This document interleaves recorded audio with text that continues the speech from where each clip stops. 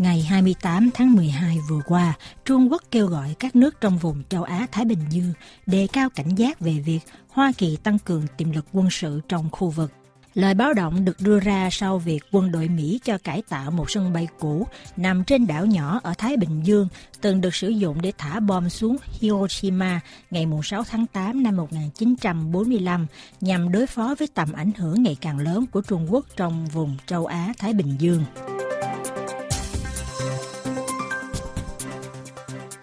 Washington cảm thấy khẩn cấp thực hiện chính sách này nhằm đáp trả chiến lược tương tự mà Bắc Kinh đã thực hiện từ nhiều năm qua khi cho biến đổi nhiều đảo nhỏ thành căn cứ quân sự tại những vùng lãnh hải đang có tranh chấp gây gắt ở Biển Đông.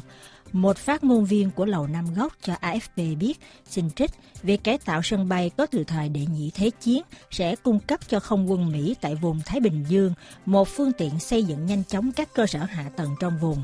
Tướng Kenneth Winbach, tư lệnh không quân Mỹ vùng Thái Bình Dương, trả lời hãng tin Nhật Bản Nikkei Asia từng nói rằng ở Tinyon, vùng lãnh thổ gần đảo Guam, sân bay lịch sử này ở phía bắc bị cây cối bao bọc, này sẽ được phát quang từ đây cho đến mùa hè năm tới để trở thành một căn cứ quân sự lớn. Chính sách này của Mỹ là một phần trong chiến lược của không quân Mỹ trong những năm sắp tới, được công bố vào năm 2022 nhằm đối phó với những hành động cưỡng ép và ngày càng hung hăng của Trung Quốc nhằm kiến tạo lại vùng Ấn Độ-Thái Bình Dương, một chiến lược mà Hoa Kỳ đánh giá là một thách thức lớn nhất và nghiêm trọng nhất cho an ninh quốc gia Mỹ.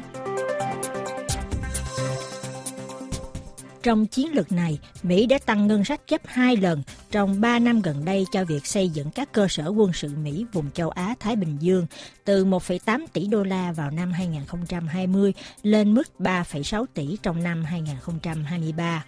Cách tiếp cận này của Bộ Quốc phòng Mỹ rất rõ ràng, đó là gia tăng các căn cứ quân sự để trở nên linh động hơn và có thể tác chiến ngoài các căn cứ lớn của Mỹ tại Nhật Bản, Hàn Quốc và trên đảo Guam. Từ năm 2011, theo một báo cáo của Quốc hội, thì Hoa Kỳ đã thương lượng tiếp cận thêm 12 căn cứ quân sự mới ở Philippines và Úc, trong số này có nhiều cơ sở đã có từ thời đệ nhị thế chiến. Hãng tin Pháp nhắc lại, nằm cách Nhật Bản 2.300 km,